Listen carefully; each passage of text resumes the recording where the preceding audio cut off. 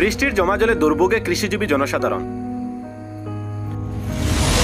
বিধায়ক নিজামুদ্দিন চৌধুরীর হস্তক্ষেপ কামনা ভুক্তভোগীদের।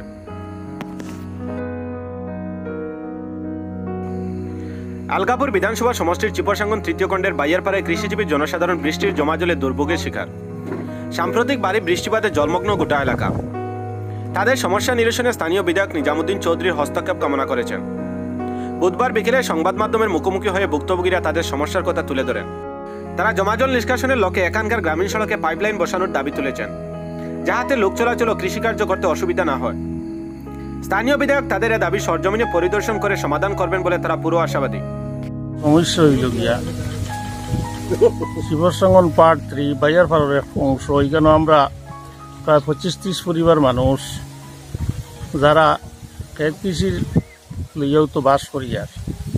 এমত অবস্থা হালিচারার অনেক জায়গা এবং কুর্কির যে জোয়া আছে, যেগুলো ফুসকুনির পাহাড় আছে, এটাও ডুবাইলার জল বাড়ন না, যার কারণে নতুন বাড়িঘর এদিক এদিকে খাটানির কারণে রাস্তার জল জাল না। ছোটো মোটো তো দুই ফুটি বা তিন ফুটি একটা ফাইভ যদি মেন রাস্তার নিচে দিয়ে দেওয়া হয়ে যায়। তার কারণে বড় রকমের এই সমস্যার থেকে আমরা খুব পাইমু বা আমরা এই অসুবিধাটা দূর হইব। বর্তমানে রাস্তা যেটা আছে, মানুষ বারোই এইবার কি দিক থেকে কেন, কত পরিবার মানুষ, তারা রোজ এদিকে যাতায়াত করে, কিন্তু এই রাস্তাটা বর্তমানে ডুবানির পথে। আর একচুয়ালি বৃষ্টি যদি হয়ে যায়, তাহলে আর মানুষ বাড়াইতে পারবে তো আমরা একটা আবেদন হইল কি ও কথা, যে এই যে সমস্যা যেটা তো সমস্যাটার সমাধান করবে যদি এমএলএর একটা দৃষ্টি আকর্ষণ করি আর আমরা। তাই সামান্য যদি আমরা দিকে সামান্য নজর করেন, তাহলে এই ব্যবস্থাটা আমরা রয়েছি। ওটাও আমরা কয়েকদিন থেকে আমরা এই ভুক্তাভোগী আছি যে আমরা মানে দোয়ার জায়গা খেতর জায়গা এবং আলি ফেলাইবার জায়গা ইটার পানি আস্তে আস্তে আস্তে আস্তে বাইরে দো দিকে এবার করে এমন অবস্থা হয়েছে দো সাইডে মানুষে মাটি খাটাইয়া দেখা যায়।